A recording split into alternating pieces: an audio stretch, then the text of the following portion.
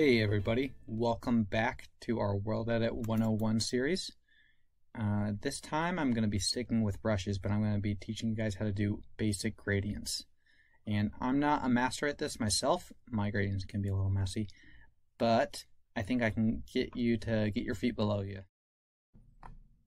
So what we can do with the materials and brushes is we can put more than one in one brush.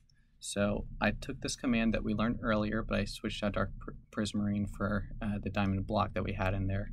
And what we can do is, once we have it bound to the brush, we can do slash material, um, and then a proportion, and then followed immediately by our first material, comma, another proportion, and then our other material.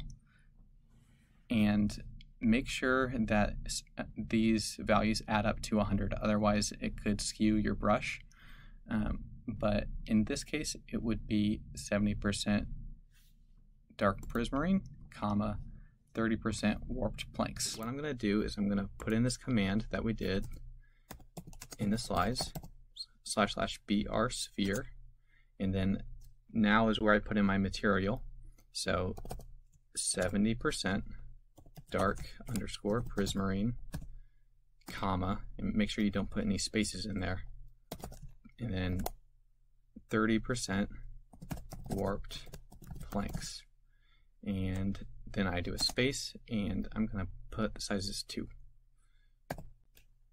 And so this is also, I'll just do mask white wool. And remember that makes it so we can only change the white wool with this brush. So I'm just going to go through and look, it's got a little speckled pattern right there, yeah? And you don't have to do 70-30. Um, I'll usually uh, change up my ratios if I want a smoother gradient. Um, but just for the purpose of this tutorial, I'm going to uh, keep it at 70-30. So then now, what I'll do is material 30%, uh, actually 70% warped planks and 30% and the next one in our gradient would be the stripped warped hyphae. And there we go. And now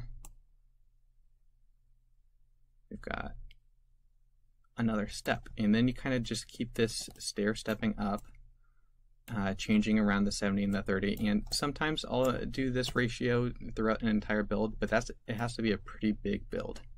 So I will stair step this up.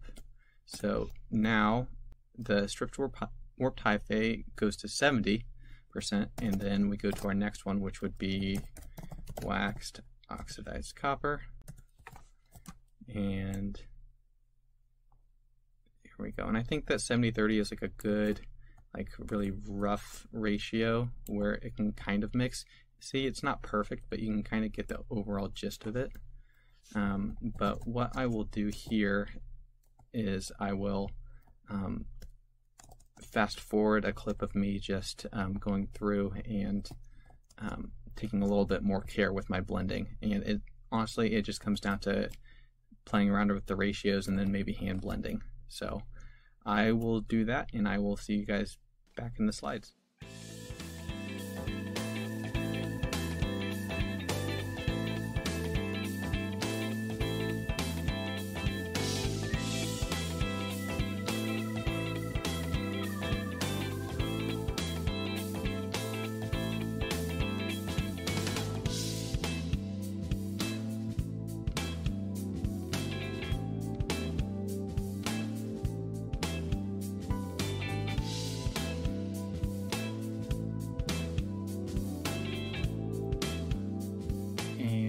That is pretty much this tutorial.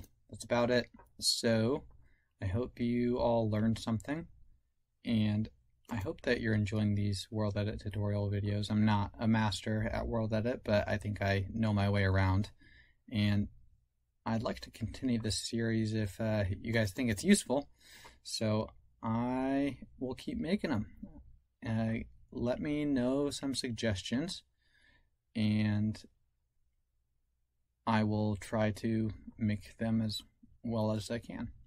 All right, have a good day. Bye.